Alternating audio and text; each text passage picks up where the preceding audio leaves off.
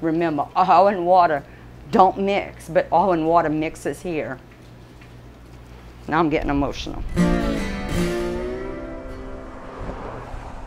If you're not a commercial fisherman, or a crabber, or an oysterman, you're a rig worker. I mean, that's what we are. That's who we are. For generations, Cajun families in southeast Louisiana faced hurricanes, floods, and eroding lands with a fierce determination.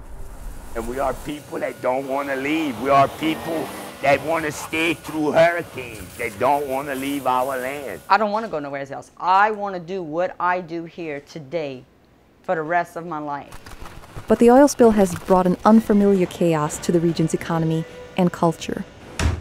Samantha and O'Neil Sevin have weathered many storms, but this is different. He's having a hard time. 29 years we're together. Have I ever seen him like this? No. And today's his birthday, and we forgot his birthday. Ain't that horrible? We've never, I don't even know if he remembers.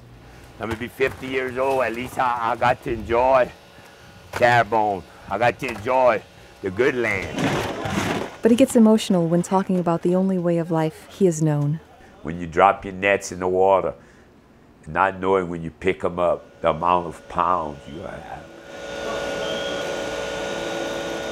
But hurry up and they load that boat back up with ice and fuel and get out there just to, to continue doing it. That's a true fish.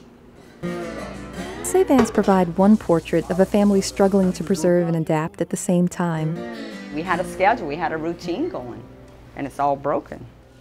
They live above their seafood business on the bayou in Chauvin, Louisiana. But since the spill, they are unable to stock their usual products, and business has fallen to 10% of what it was a year ago. And that's mentally stressful because you have to tell them no, you don't have it. And then it's scary because, you know, I mean, will these people be back in the future? Even though business is at a standstill, O'Neil can't slow down. To do so would be to give in. Uh, I keep my mind on thoughts of things to do around here, and keep myself busy.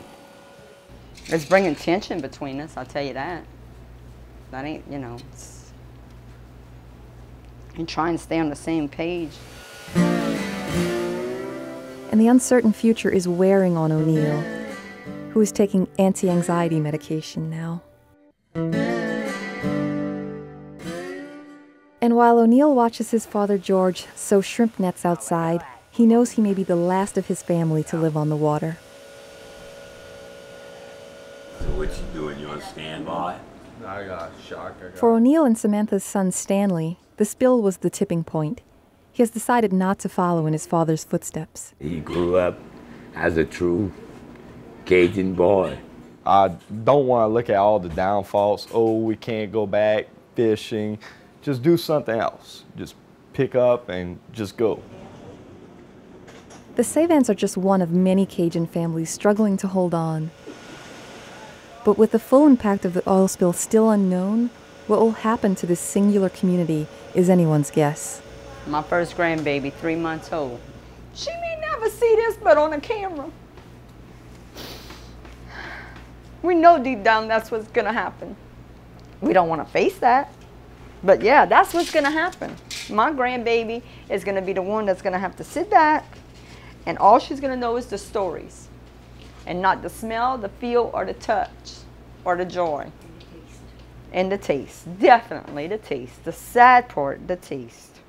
You think I can preserve seafood in the freezer long enough for her?